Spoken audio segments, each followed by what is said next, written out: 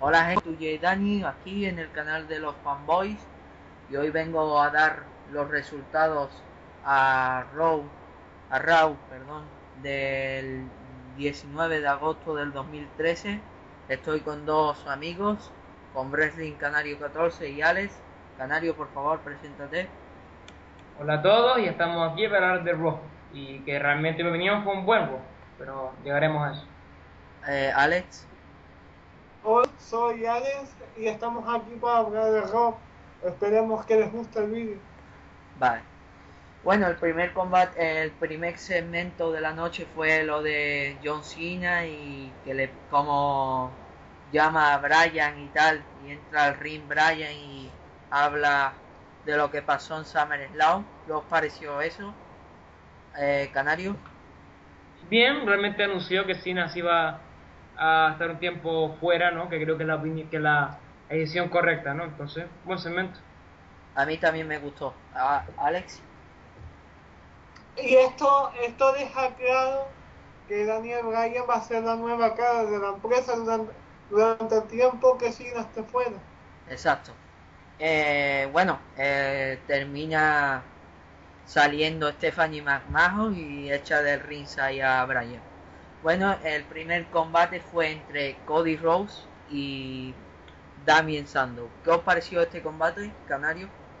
Muy buena lucha, mucho mejor que, que la que tuvieron en SummerSlam el día anterior. Pero, ¿no te parece una tontería, como dijiste antes, la gente que lo haya comprado el pay-per-view no piensa, pero, coño, para este combate y después que lo vuelvan a poner en Raw, me cago en su madre ya después de pagar un pay-per-view, ¿no? Ver el mismo combate aún mejor gratis, ¿no? Y más tiempo.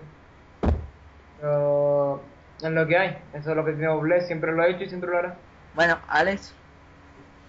Yo creo que duró más que anoche y que fue un buen combate. eh... y, Cody acaba ganando la lucha, ¿no? Sí, y gana Cody Rose y parece que le van a dar un push a Cody Rose. Bueno, sí, pensamos que para estos Champions serán Cody contra Sandow por el maletín, ¿no? Sí. Eh, bueno, eh, después en el backstage, eh, gerente general Brad Maddox dice que Dolph Ziggler se va a enfrentar a varias superestrellas y es de Chi. ¿Qué os pareció este segmento? Bueno, más que segmento... ¿Qué nos va a parecer, tío? Bien, yo qué sé. Vale. Después eh, Paul Heyman salió y dijo lo de pan y tal. Eh, ¿Qué os pareció, Canario? ¿El promo de Heyman? Sí.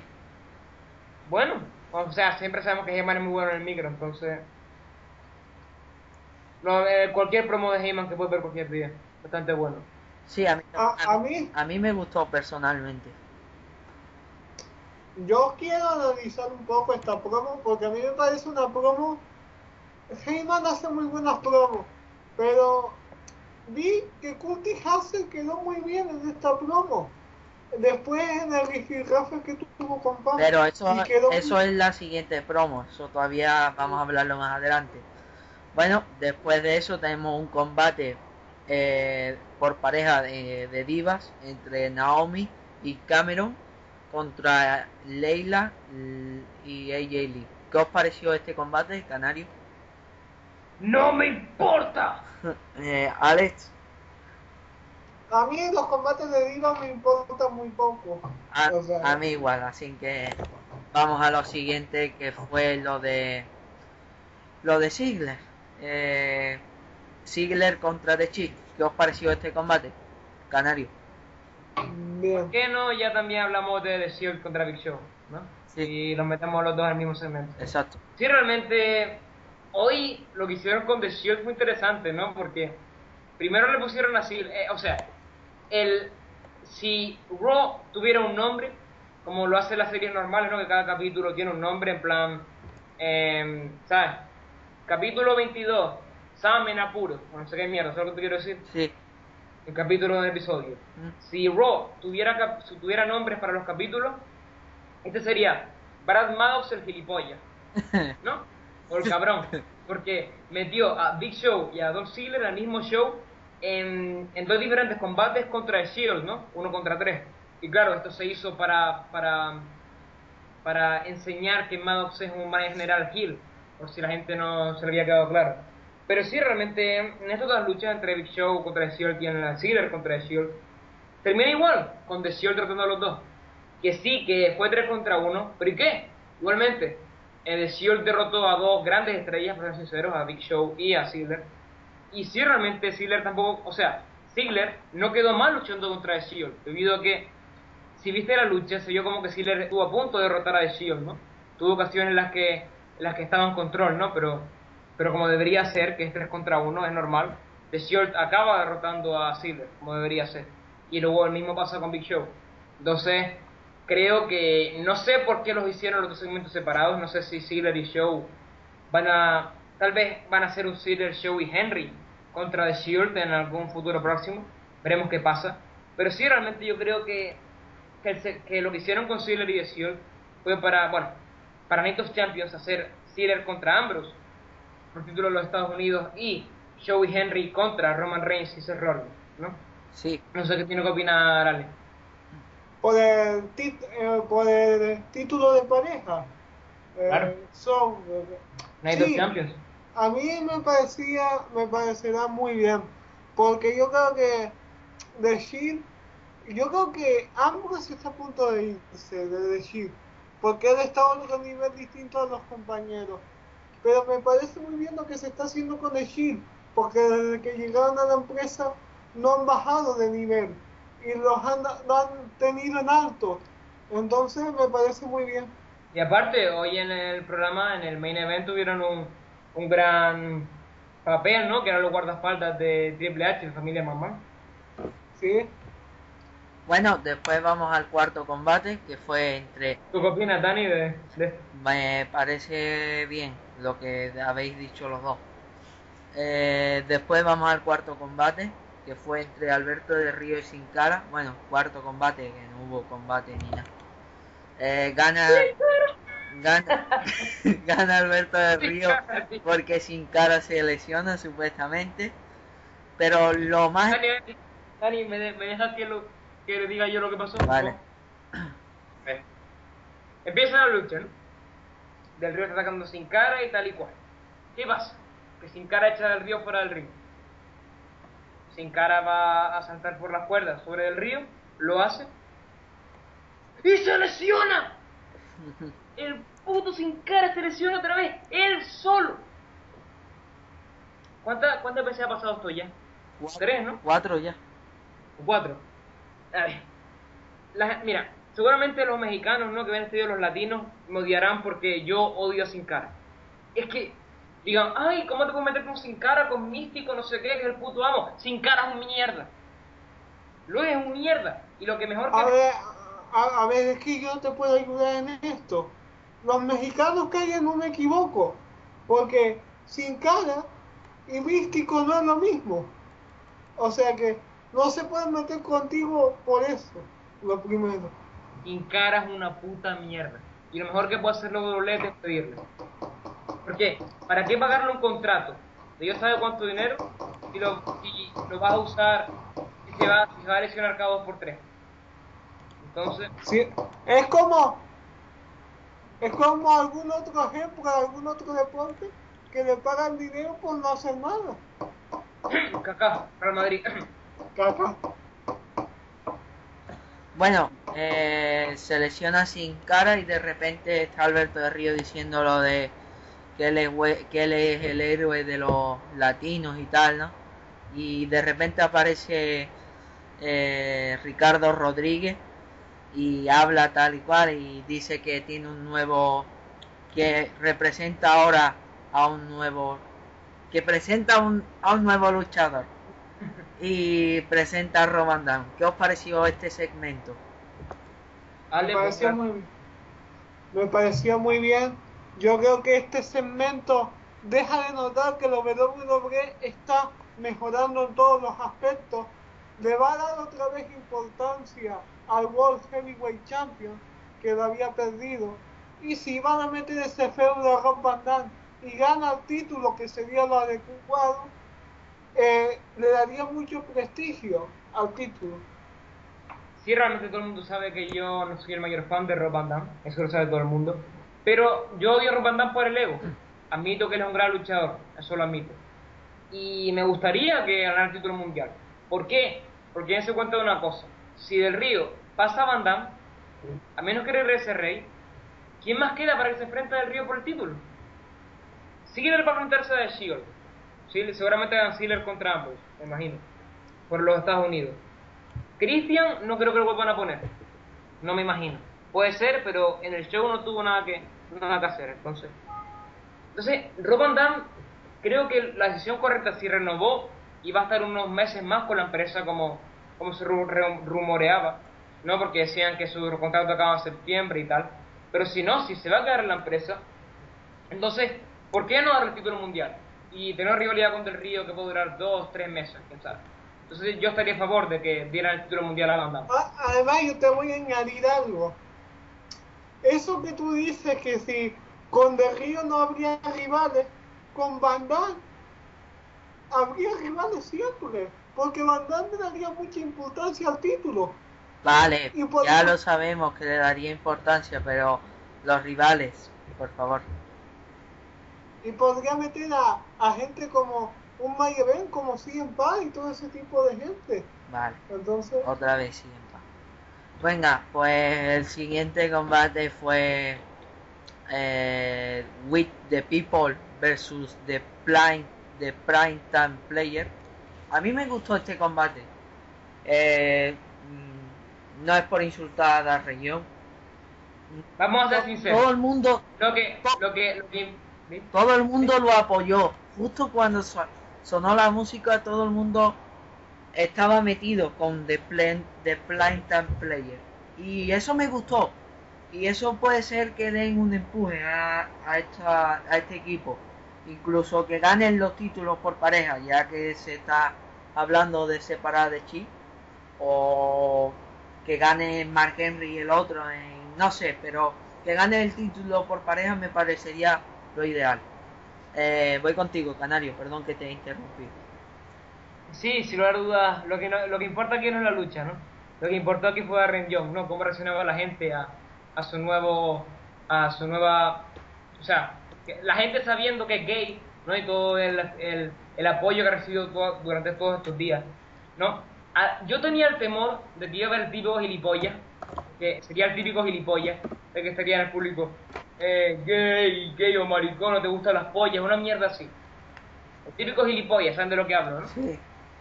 Sí. Pero por suerte no. El homófobo. Poco de mierda. Y facha. Pero por suerte, no. Por suerte el público realmente es un poco inteligente y piensa un poco, ¿no? Y tiene dos dedos de frente. Y apoyó a Darren Young. No, y esto es bueno. Porque los niños pequeños ven esto y saben cómo actuar. Y saben que los tiempos van evolucionando. No estamos en el siglo XX todavía. Entonces, me gusta que, que apoyen tanto a Darren Young. Y sí, y me encanta que los Prime Time Players sean face, porque realmente hacía tiempo que los Prime Time Players deberían ser face. Y, eso- y esto, si esto significa un push para la pareja, para Titus y para Darren, que posiblemente llegue a un a una victoria por, con los títulos, me encantaría. Sería lo ideal. Realmente, y ahora que van a meter también a Primo y a Épico, como los matadores, ¿no? Como una nueva pareja. Torero, ¿Qué? torero. Torero, sí. Realmente, sí, parece que la edición por pareja está evolucionando, ¿no? Está expandiéndose. Cosa que me encanta, sin lugar a dudas. Bueno, eh, Alex, no tienes nada que opinar, ¿no? ¿Estás de acuerdo Yo- con nosotros? Yo opino lo mismo. Vale, Además, vamos al siguiente. No, no, espera, espera. Ah, ¿De qué ibas a decir, Ale? Joder, además yo, yo, yo no sabía esa noticia de que Darren Young era gay. Lo, lo apoyo. Vale, eh, vamos rápido porque no quiero que se haga muy largo el, el vídeo. Eh, después eh, fue el combate de Bicho, que ya lo hemos comentado y tal. El segmento de CM Punk. ¿Qué os pareció este gran segmento? Voy contigo, mi gran amigo Wrestling Canario 14. Tremendo segmento, me encantó. Como todos sabemos, Punk es muy bueno con los promos, hizo una gran promo aquí. Se llegó a meter con uno del público, ¿no? Que lo estaba bucheando. Y eso me encanta. Fue un poco raro, ¿no? Porque Punk es face, pero supuestamente Punk es este luchador revolucionario, ¿no? Que no es ni, ni face ni, ni heel, es entre medio, twinner, ¿no? Pero no, me encantó el promo. Muy bueno. Acaba apareciendo por Heyman, ¿no? Y, y reta a Punk a enfrentarse a Axel, ¿no? ¿Qué pasa? Van a publicidad, vuelven de publicidad y vemos a Punk contra Axel. No sé qué tiene opinar Alex de la lucha entre Punk y Axel. Bueno, la lucha. La pelea. La pelea callejera más bien. Fue eh, un momento muy bonito porque quedaron los dos bien. Entonces, fue algo bueno. Y bueno, como- Curtis, ¿Sí? Curtis Hassel quedó muy bien. Y Punk también. Y, y Pan también. Y como todos especulamos, creemos que esto va a llevar a, a Axel contra Punk por el título continental en Night of Champions. Que sin lugar a dudas será una decisión muy buena. Bueno, Creo que todos, todos opinamos lo mismo, ¿no? sí, bueno, vamos al a lo siguiente que fue Bra Bray, perdón, Bray Wyatt versus R-Truth. Eh, yo digo algo que añadí. Me está gustando lo que están haciendo con los Wyatt. No sé si estáis de acuerdo con, conmigo. ¿Canario? Sí. Que a quién no. Realmente, el personaje de Bray Wyatt es increíble. Tiene que ser el mejor personaje que tiene la empresa ahora. Digo, eh, no hay que añadir nada al combate porque tampoco Fue un, fue un squash, fue un Exacto. combate de yo. Así que para mí lo único que añadí es lo del personaje, cada vez mejor.